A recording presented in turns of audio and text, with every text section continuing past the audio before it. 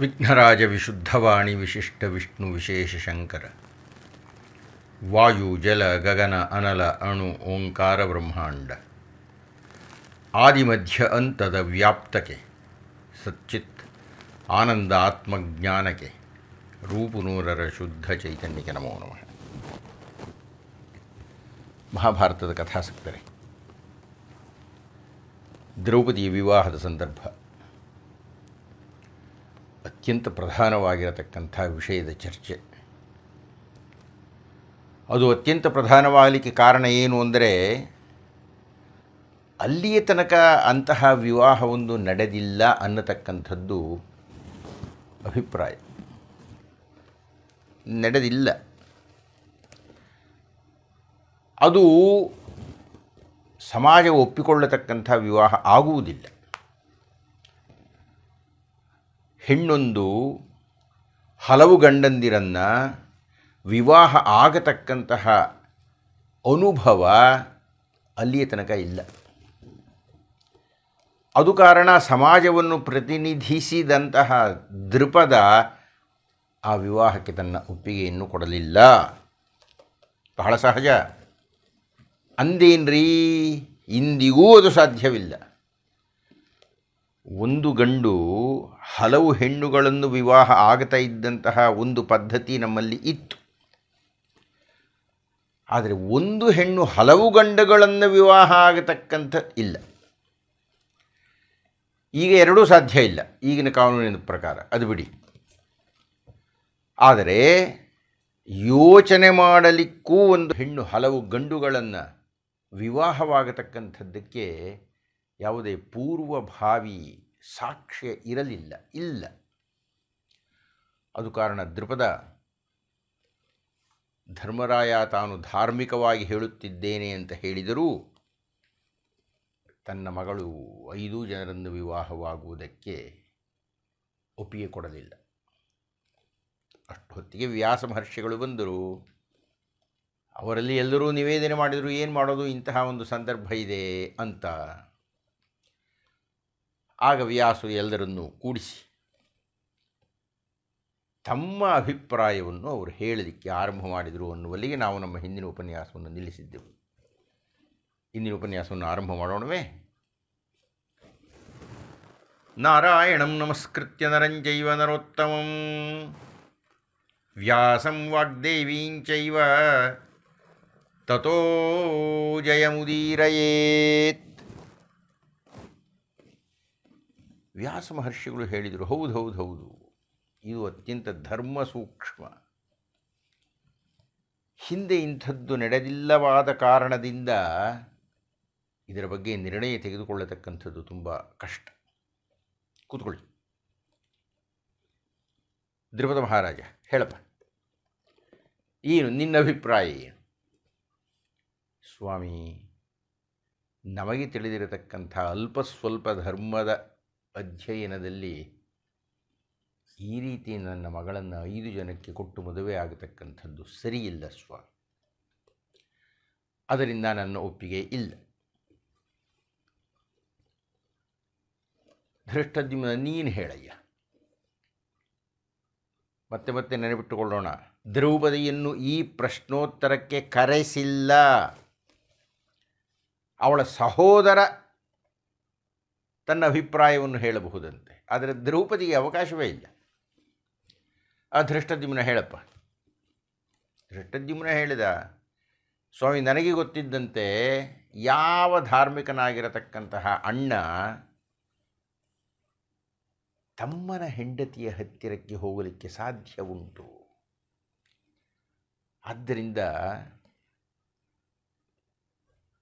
ಕಾನೂನುಬದ್ಧವಾಗಿ, ವಿಧಿಬದ್ಧವಾಗಿ ಪಣವನ್ನು ಗೆದ್ದು ವಿವಾಹ ಆಗಿರತಕ್ಕಂತಹ ಅರ್ಜುನ, ನಮ್ಮ ದೃಷ್ಟಿಯಲ್ಲಿ ಅವನೇ ಗಂಡ. ಅರ್ಜುನನ ಪತ್ನಿಯಾಗಿರತಕ್ಕಂತಹ ದ್ರೌಪದಿಯ ಹತ್ತಿರಕ್ಕೆ ಅರ್ಜುನನ ಅಣ್ಣನಾಗಿರತಕ್ಕಂಥ ಧರ್ಮರಾಯ ಹೇಗೆ ಹೋಗಲಿಕ್ಕೆ ಸಾಧ್ಯ?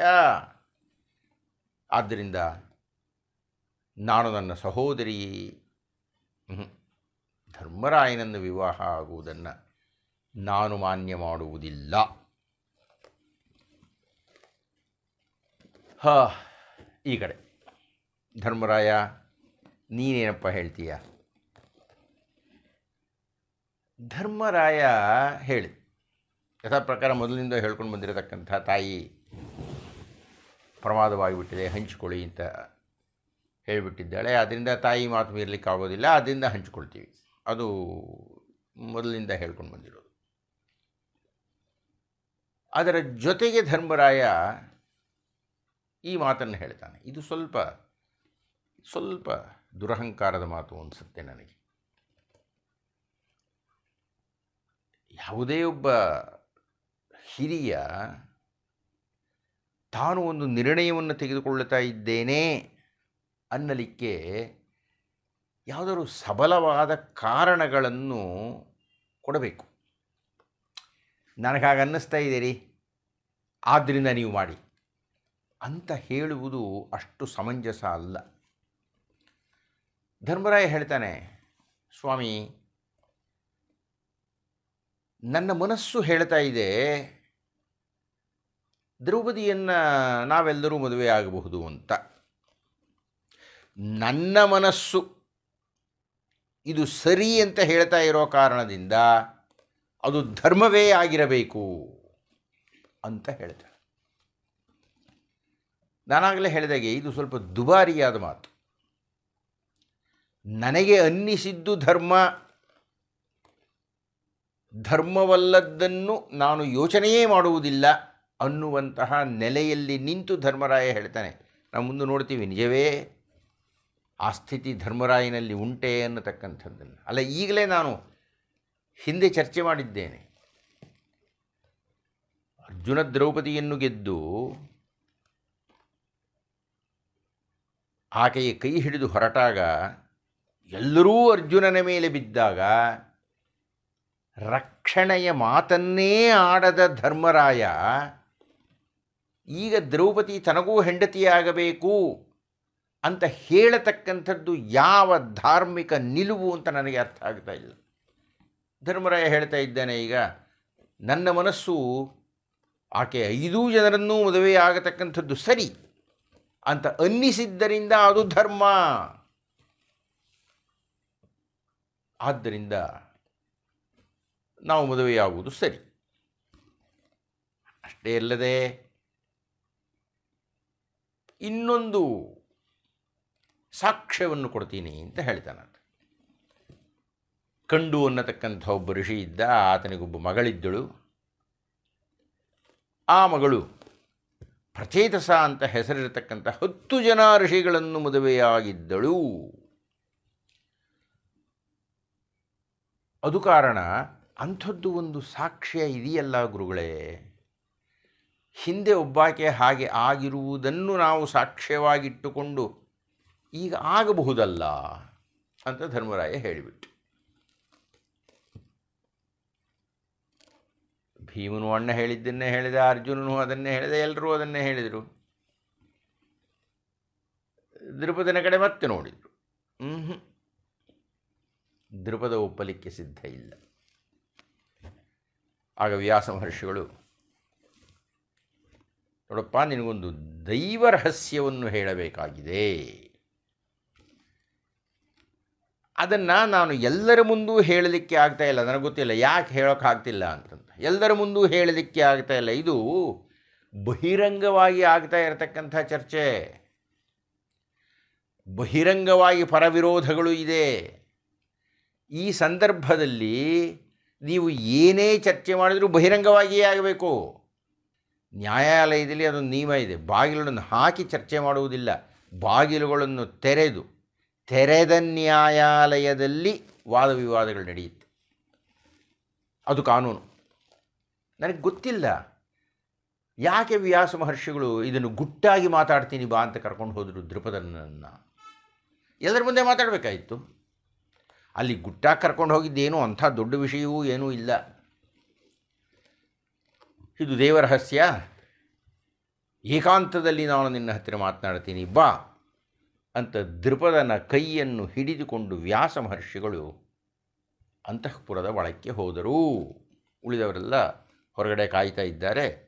ಅವರಿಬ್ಬರು ಏನು ನಿರ್ಣಯವನ್ನು ಹೊತ್ತು ತರುತ್ತಾರೆ ಅಂತ.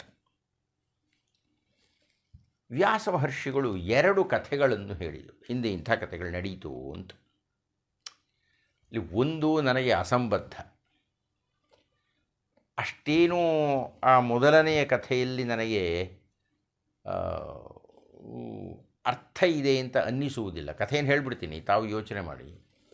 ಇಂದ್ರ ಯಾವ್ಯಾವುದೋ ಕಾರಣದಿಂದ ಇಂದ್ರ ಒಂದು ಕಡೆ ನದಿಯ ಪಕ್ಕದಲ್ಲಿ ಕೂತ್ಕೊಂಡಿದ್ದಾನೆ. ಸರಿ, ಒಂದಾದ ಮೇಲೆ ಸ್ವರ್ಣ ಕಮಲಗಳು ಬರ್ತಾ ಇದೆ. ಏನಯ್ಯ ಇದು ಚಿನ್ನದ ಕಮಲ? ಇದು ಎಲ್ಲಿಂದ ಬರ್ತಾ ಇದೆ? ಅಂತ ಹೇಳಿ ಹುಡುಕೊಂಡು ಹೋಗ್ತಾನೆ. ಹಾಗೆ ಹೋದರೆ ಅಲ್ಲೊಬ್ಬ ಸುಂದರವಾದ ಸ್ತ್ರೀ, ಓ ಅಂತ ಅಳುತ್ತಾ ಕೂತಿದ್ದಾಳೆ. ಹಾಗೆ ಅಳುತ್ತಿದ್ದಾಗ ಅವಳ ಕಣ್ಣಿನಿಂದ ಬಿದ್ದ ಒಂದೊಂದು ಹನಿಯೂ ಒಂದೊಂದು ಕಮಲವಾಗಿ ಪರಿವರ್ತಿತವಾಗಿ ನದಿಯಲ್ಲಿ ಹೋಗ್ತಾ ಇದೆ. ಅದನ್ನು ನೋಡಿದ ಇಂದ್ರ ಅದರ ಜಾಡನ್ನು ಹುಡುಕಿ ಬಂದು ಈ ದಿವ್ಯ ಸ್ತ್ರೀಯನ್ನು ನೋಡಿ, ಯಾಕೆ ಮಾಡ್ತಾ ಇದೆಯಾ? ಅಂದ. ನಾನು ಯಾಕೆ ಅಳ್ತಾ ಇದ್ದೀನಿ ಅಂತ ನಿಮಗೆ ಗೊತ್ತಾಗಬೇಕಾಗಿದ್ದರೆ ನನ್ನ ಹಿಂದೆ ಬನ್ನಿ ಅಂತ ಹೇಳಿದ್ಲು. ಆಕೆ ಹಾಗೂ ಇಂದರೆ ಇಬ್ಬರು ಹೋದರು. ಅಲ್ಲಿ ಒಬ್ಬ ಯುವಕ, ಒಬ್ಬ ಯುವತಿ, ನಾನು ಅಲ್ಲಿನ ಪದಗಳೇ ಹೇಳಬೇಕು, ಕ್ರೀಡಿಸುತ್ತಿದ್ದಾರೆ. ಇಬ್ಬರು ಕ್ರೀಡಿಸುತ್ತಿದ್ದಾರೆ ಅಂದರೆ ಅರ್ಥ ಏನಾಗಬೇಕು ಅಂತ ನಾವು ಅರ್ಥ ಮಾಡ್ಕೋಬೇಕು. ಇವಳು ಅಳ್ತಾ ಇದ್ದಾಳೆ. ಅವರಿಬ್ಬರು ಕ್ರೀಡಿಸ್ತಾ ಇದ್ದಾರೆ. ನಾವೇನು ಅರ್ಥ ಮಾಡ್ಕೋಬೇಕು ಸ್ವಾಮಿ?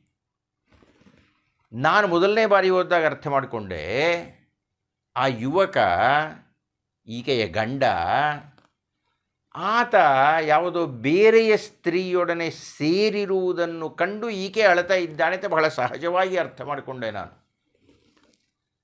ಬಹುಶಃ ಇಂದ್ರನೂ ಹಾಗೆ ಅರ್ಥ ಮಾಡಿಕೊಂಡನೇನೋ. ಅವನು ಹೋಗಿ ಅವರಿಬ್ಬರು ಪಕ್ಕದಲ್ಲಿ ನಿಂತ್ಕೊಂಡು, ನಾನು ತ್ರಿಲೋಕಾಧಿಪತಿಯಾದ ಇಂದ್ರ ಅಂತ ಹೇಳಿದ. ಹಿಂದೆ ಮುಂದೆ ಗೊತ್ತಿಲ್ಲದೆ ಇಂದ್ರ ಆಕೆ ಕರೀತಾ ಇದ್ದ ಹಾಗೆ ಹೋಗಿ, ಯಾವುದೋ ಗಂಡು ಹೆಣ್ಣು ಸೇರಿದ್ದಾಗ ಹೋಗಿ ನಿಂತ್ಕೊಂಡು ಈ ರೀತಿ ಮಾತಾಡ್ತಕ್ಕಂಥದ್ದು ಎಷ್ಟು ಸಭ್ಯತೆ ಅಂತ ನನಗೆ ಗೊತ್ತಿಲ್ಲ. ಆಯಿತು, ಆ ಯುವಕ, ಇಂದ್ರನ ಕಡೆ ಕಣ್ಣೆತ್ತಿಯೂ ನೋಡದೆ ತಮ್ಮ ಆಟವನ್ನು ತಾವು ಮುಂದುವರಿಸಿದ್ದರೂ ಇಂದ್ರನಿಗೆ ಬಹಳ ಸಿಟ್ಟು ಬಂತು. ಏಯ್, ತ್ರಿಲೋಕಾಧಿಪತಿಯಾದ ನಾನು ಬಂದು ನಿಂತಿದ್ದೇನೆ ಎಂದು ಗೊತ್ತಿಲ್ಲವೋ? ಅಂತ ಕೂಗಿದ್ದ ಆ ಯುವಕ ಹೀ ಕಡೆಗಣ್ಣಿನಿಂದ ನೋಡಿದನಂತೆ ಇಂದ್ರ ಸ್ತಂಭೀಭೂತನಾಗಿ ಶಿಲೆಯಂತೆ ಅಚಲನಾಗಿ ನಿಂತು ಬಿಟ್ಟ. ಇವರು ಕ್ರೀಡೆಯೆಲ್ಲ ಮುಗಿಯಿತು ಮುಗಿದ ಮೇಲೆ ಆ ತರುಣ ಈ ಅಳ್ತಾ ಇದ್ದಂಥ ಸ್ತ್ರೀಗೆ ಹೇಳಿದಂತೆ ಆ ಇಂದ್ರನನ್ನು ಕರ್ಕೊಂಡು ಬಾ. ಅವನಿಗೆ ಇದ್ದ ಅಹಂಕಾರವನ್ನೆಲ್ಲ ಕಿತ್ತಾಕ್ಬಿಡ್ತೀನಿ. ಆಕೆ ಹೋಗಿ ಮುಟ್ಟಿದ್ಲು, ಅವನು ಕುಸ್ತು ಬಿದ್ದ. ಎಷ್ಟು ದುರಹಂಕಾರ ಪಡ್ತಾ ಇದೀಯ ನೀನು? ಆ ಬಂಡೆಯನ್ನು ತೆಗಿ ನಿನ್ನಂಥ ನಾಲ್ಕು ಜನ ಇಂದ್ರರು ಅಲ್ಲಿ ಒಳಗೆ ಬಿದ್ದಿದ್ದಾರೆ. ಬೇರೆ ಬೇರೆ ಕಾರಣದಿಂದ ಅವರೆಲ್ಲ ಅಹಂಕಾರಿಗಳಾಗಿದ್ದರು ಅವರಿಗೆಲ್ಲ ಗುಹಾವಾಸ ಆಗಿದೆ. ಈಗ ನೀನು ಅಹಂಕಾರ ಪಟ್ಟಿರುವುದರಿಂದ ನೀನು ಆ ಗುಹೆಯೊಳಕ್ಕೆ ಹೋಗು. ಸಂಬಂಧವೇ ಇಲ್ಲ ನನಗೆ.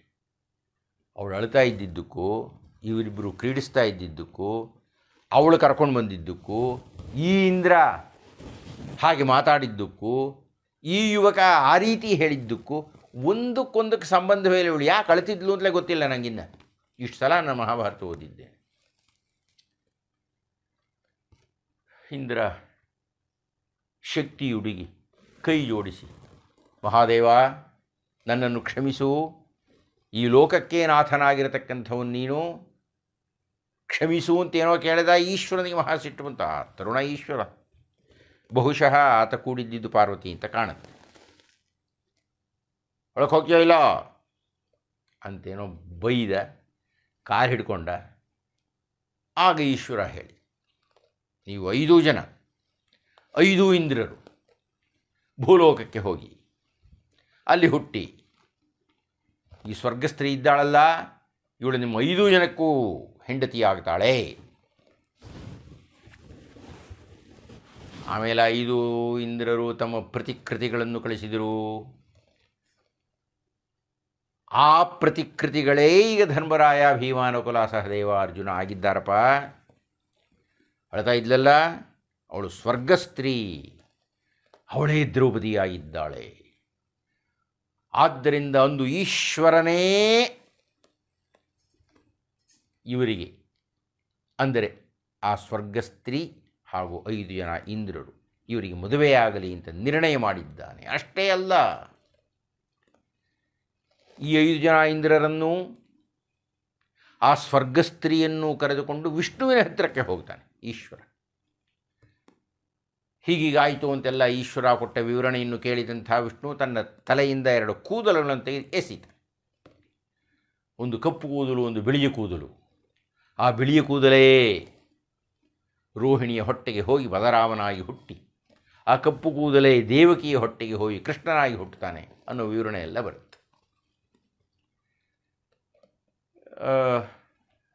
ಈ ಕಥೆ ಎಷ್ಟರ ಮಟ್ಟಿಗೆ ಸಮಂಜಸ? ಈಶ್ವರ ತನ್ನ ಹೆಂಡತಿಯ ಜೊತೆಗೆ ಕೂಡುವುದಕ್ಕೂ, ಅದನ್ನು ನೋಡಿ ಅವಳು ಅಳುವುದಕ್ಕೂ ಅವಳ ಪರವಾಗಿ ಇಂದಿರಾ ಬಂದಲ್ಲಿ ಪಕ್ಕದಲ್ಲಿ ನಿಂತುಕೊಂಡು ಮಾತಾಡೋದಕ್ಕೂ, ಅದಕ್ಕೆ ಈಶ್ವರ ಶಾಪ ಕೊಡೋದಕ್ಕೂ ಸಂಬಂಧ ಇದೆಯೇನ್ರಿ? ನನಗೆ ಸಂಬಂಧ ಕಾಣಿಸ್ಲಿಲ್ಲ.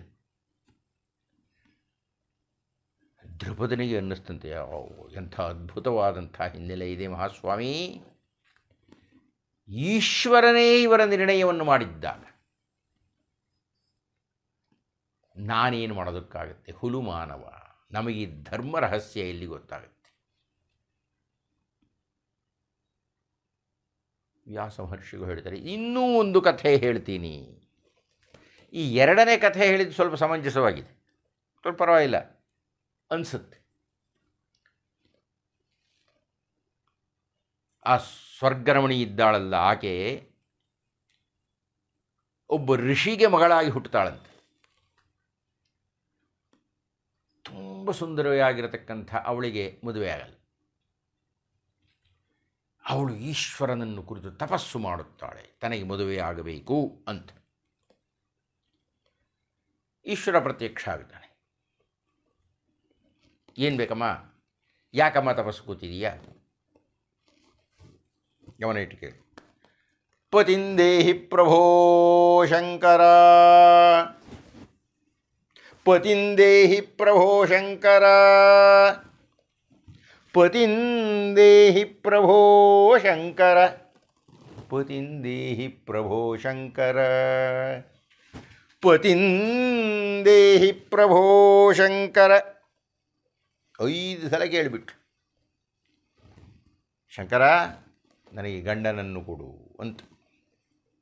ಐದು ಸಲ ಕೇಳಿದ್ದೀಯಾ? ನಿನಗೆ ಐದು ಜನ ಗಂಡದರಾಗಲಿ ಅಂತ ಈಶ್ವರ ಹೇಳಿಬಿಟ್ಟು ಅದು ಕಾರಣ ಆ ಸ್ವರ್ಗ ಸ್ತ್ರೀಯೇ ಈಗ ದ್ರೌಪದಿಯಾಗಿದ್ದಾಳೆ. ಅವಳು ಐದು ಬಾರಿ ಕೇಳಿದ್ದರಿಂದ ಈಗ ಐದೂ ಜನರನ್ನು ಆಕೆ ಮದುವೆಯಾಗುತ್ತಿದ್ದಾಳೆ.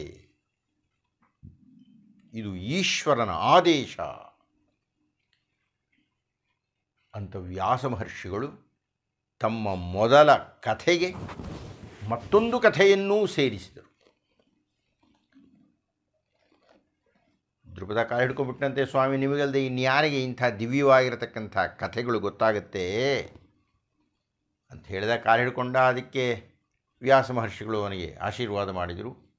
ಒಪ್ಪಿಕೊಂಡಂಥ ದೃಪದ ವ್ಯಾಸರ ಜೊತೆಗೆ ಹೊರಗೆ ಬಂದ, ಇವರೆಲ್ಲ ಕಾತುರದಿಂದ ಕಾಯ್ತಾ ಇದ್ದರು ನನ್ನ ವಿರೋಧವಿಲ್ಲ ಅಂತ ಹೇಳಿಬಿಟ್ರು. ಯಾಕೆ ವಿರೋಧ ಇಲ್ಲ ಅಂತ ಯಾರೂ ಕೇಳಲಿಲ್ಲ. ದೃಪದ ಯಾವಾಗ ಒಪ್ಪಿಗೆ ಕೊಡ್ತಾ ಇದ್ದ ಹಾಗೆ ದೃಷ್ಟದ್ಯುಮ್ನೂ ಕೇಳಲಿಲ್ಲ. ಒಪ್ಪಿಗೆ ಕೊಡ್ತಾ ಇದ್ದ ಹಾಗೆ, ವಿವಾಹಕ್ಕೆ ಏರ್ಪಾಟುಗಳು ಆಗಿಯೇ ಹೋಯಿತು. ಧೌಮ್ಯರನ್ನು ಮುಂದಿಟ್ಟುಕೊಂಡು ವಿವಾಹ ಆರಂಭವೂ ಆಗಿ ಹೋಯಿತು. ಧರ್ಮರಾಯನ ಜೊತೆಗೆ ವಿವಾಹವೂ ಆಗೋಯಿತು ಮುಗಿದ್ದೇ ಹೋಯಿತು. ಆಮೇಲೆ ಆ ದಿವಸ ಧರ್ಮರಾಯನ ಜೊತೆಗೆ ದ್ರೌಪದಿ ಸೇರಿದಳು. ಅಂತ ಕಾಣುತ್ತೆ. ಯಾಕೆಂದರೆ ಮುಂದೆ ಒಂದು ವಾಕ್ಯ ಬರುತ್ತೆ ಆಮೇಲೆ. ಮಾರನೇ ದಿವಸ, ಭೀಮನ ಜೊತೆಗೆ ವಿವಾಹವಾಯಿತು. ಅಂದು ಭೀಮನ ಜೊತೆಗೆ ದ್ರೌಪದಿ ಸೇರಿದಳು ಅಂತ ಕಾಣುತ್ತೆ. ಇಲ್ಲಿ ನನಗೆ ಗೊತ್ತಾಗದ ಒಂದು ಅಂಶ ಅಂದರೆ ಪಾಪ ಗೆದ್ದಿದ್ದವನು ಅರ್ಜುನ. ಮಾಲೆ ದ್ರೌಪದಿ ಹಾಕಿದ್ದು ಅರ್ಜುನನಿಗೆ. ಮೊದಲು. ಆದರೆ ನಿಜವಾಗಿಯೂ ಮಾಲೆ ಹಾಕಿ ಪಾಣಿಗ್ರಹಣ ಮಾಡಿದ್ದು ಮೂರನೆಯ ದಿವಸ. ಅಣ್ಣಂದಿರಿಬ್ಬರೂ ಅನುಭವಿಸಿದ ಮೇಲೆ ದ್ರೌಪದಿಯನ್ನು ಅರ್ಜುನ ಅನುಭವಿಸುತ್ತಿದ್ದಾನೆ. ಇದಕ್ಕಿನ್ನ ಕಷ್ಟವಾದ್ದು ಮತ್ತೊಂದು ಭಾಗ ಇದೆ. ಅದನ್ನು ನಾನು ಮುಂದಿನ ಉಪನ್ಯಾಸದಲ್ಲಿ ಹೇಳ್ತೀನಿ. ಆಯಿತು. ನಾಲ್ಕನೇ ದಿವಸ ನಕುಲ ಮದುವೆಯಾದ ಐದನೆಯ ದಿವಸ ಸಹದೇವ ಮದುವೆಯಾದ. ಆಯಿತೇ? ಈ ಐದೂ ದಿವಸಗಳಲ್ಲಿಯೂ ವಿವಾಹವಾದ ದಿವಸ ಆಯಾ ಪತಿಯ ಜೊತೆಗೆ ದ್ರೌಪದಿ ಸಂಭೋಗಕ್ಕೆ ಗುರಿಯಾಗಿದ್ದಾಳೆ. ಯಾಕೆ ಇದನ್ನು ಹೇಳ್ತಾ ಇದ್ದೇನೆ ಅಂದರೆ ವಿಶೇಷವಾಗಿ ಮಹಾಭಾರತದಲ್ಲಿ ಒಂದು ವಾಕ್ಯವೃಂದ ಬರುತ್ತೆ. ಅಲ್ಲಿ ಒಂದು ವಿಚಿತ್ರ ನಡೆಯಿತು. ಏನಪ್ಪ ಅಂದರೆ ದ್ರೌಪದಿ ಪ್ರತಿ ಬಾರಿ ವಿವಾಹಿತಳಾದಾಗಲೂ ಅವಳು ಕನ್ಯೆಯಾಗಿಯೇ ಬರ್ತಾ ಇದ್ದಳು ಅಂತ ಹೇಳ್ತಾರೆ. ಅವಳು ಕನ್ಯೆಯಾಗಿಯೇ ಬರ್ತಾ ಇದ್ಲು ಅಂದರೆ ಕನ್ಯಾಭಂಗವಾಗಿತ್ತು ಅಂತ ತಾನೇ ಹಿಂದಿನ ರಾತ್ರಿ. ಹೇಗೂ ಇರಲಿ, ಅದೇನಷ್ಟು ದೊಡ್ಡ ವಿಷಯ ಅಲ್ಲ, ಆದರೆ ನನ್ನ ಪ್ರಶ್ನೆ ಇರುವುದು, ಆ ರೀತಿ ಅಕ್ಷತ ಕನ್ಯೆಯಾದಂತಹ ದ್ರೌಪದಿ ಕ್ಷತಳಾಗಬೇಕಾಗಿದ್ದು ಅರ್ಜುನನ ಹತ್ತಿರ ಮೊಟ್ಟ ಮೊದಲು ಅನ್ನುವುದು ನನ್ನ ತರ್ಕ. ಅವರೇ ಒಪ್ಕೊಂಡ ಮೇಲೆ ನಾವಿನ್ಯಾರ್ರಿ? ಮಾತಾಡಲಿಕ್ಕೆ? ವಿವಾಹವೆಲ್ಲ ಆಯಿತು. ಎಲ್ಲರಿಗೂ ಸಂತೋಷ ಆಯಿತು. ಕೃಷ್ಣ ಬಲರಾಮರಿಗೂ ವಿವಾಹವಾಗಿದ್ದ ವಿಷಯ ತಿಳಿದ ಮೇಲೆ ಅವರು ಸಾಕಷ್ಟು ಉಡುಗೊರೆಗಳನ್ನು ಕಟ್ಟುಕೊಳಿಸಿದರು. ಈ ವಿಷಯ ಎಲ್ಲ ರಾಜರಿಗೂ ಗೊತ್ತಾಗುವಂತೆ ಹಸ್ತಿನಾವತಿಗೂ ತಿಳಿಯಿತು. ವಿದುರು ಹೋಗಿ ಧೃತರಾಷ್ಟ್ರನಿಗೆ ಹೇಳಿದಂತೆ ಧೃತರಾಷ್ಟ್ರ, ದ್ರೌಪದಿ ಕುರುವಂಶಕ್ಕೆ ಸೇರಿದಳು. ಧೃತರಾಷ್ಟ್ರನಿಗೆ ಮಹಾ ಸಂತೋಷ ಆಗೋಯ್ತು. ಏ ಒಳ್ಳೆ ಸಡಗರವನ್ನು ಮಾಡಿ, ಉತ್ಸವವನ್ನು ಮಾಡಿ ದ್ರೌಪದಿನ ಕರ್ಕೊಂಡು ಬನ್ನಿ ದುರ್ಯೋಧನ ಕರ್ಕೊಂಡು ಬನ್ನಿ. ಪಾಪ ಕುರುಡ, ದ್ರೌಪದಿಗೂ ದುರ್ಯೋಧನನಿಗೂ ವಿವಾಹವಾಗಿದೆ ಅಂತ ಅಂದುಕೊಂಡು ಬಿಟ್ಟ. ಆಮೇಲೆ ವಿದುರ ಅದನ್ನು ತಿದ್ದಿದ. ಇಲ್ಲ ಇಲ್ಲ, ದ್ರೌಪದಿ ಪಾಂಡವರನ್ನು ಮದುವೆಯಾದಳು. ಧೃತರಾಷ್ಟ್ರ ಮುಖದ ತುಂಬ ನಗುವನ್ನು ತಂದುಕೊಂಡು ಹೇಳಿದ, ಓ ಇದ್ದಿದ್ದೂ ಸಂತೋಷವಾದ ವಿಷಯ. ನನ್ನ ತಮ್ಮನ ಮಕ್ಕಳನ್ನು ಮದುವೆಯಾಗಿದ್ದು ನಮ್ಮ ವಂಶದ್ದೇ ಅಲ್ಲೇನಪ್ಪ? ನನಗೆ ಭಾಳ ಸಂತೋಷ ಆಗಿದೆ. ಅಂತ ಹೇಳಿದನಂತೆ ವಿದುರ ಮಾತನ್ನು ಕೇಳಿ ಹೋದನಂತೆ, ಹಾಗೆ ಹೋಗುತ್ತಾ ಇದ್ದ ಹಾಗೆ ದುರ್ಯೋಧನೆ ಇತ್ಯಾದಿಗಳು ಬಂದು ಅಪ್ಪನನ್ನು ಹಿಡಿದು ಕೇಳಿದರು, ಏನಪ್ಪ ಇದು? ಅಂತ. ಹಾ, ಅವರ ಸಂಭಾಷಣೆಯಿಂದ ನಾವು ಮುಂದಿನ ಉಪನ್ಯಾಸದಲ್ಲಿ ನೋಡೋಣ ಅಂತ ಹೇಳ್ತಾ ಇಂದಿನ ಉಪನ್ಯಾಸವನ್ನು ಮುಕ್ತಾಯ ಮಾಡೋಣವೇ ವೇದ ಪಾರಾಯಣದ ಫಲ ಗಂಗಾದಿ ತೀರ್ಥಸ್ನಾನ ಫಲ ಕೃಚ್ಛರಾದಿ ತಪಸಿನ ಫಲ ಉಜ್ಯೋತಿಷ್ಟೋಮಯಾಗ ಫಲ. ಮೇದಿನಿಯನು ಒಲಿದಿತ್ತ ಫಲವಸ್ತ್ರಾದಿ ಕನ್ಯಾದಾನ ಫಲಬಹುದು ಆಧರಿಸಿ ಭಾರತದೊಳೊಂದಕ್ಷರವ ಕೇಳ್ದರಿಗೆ.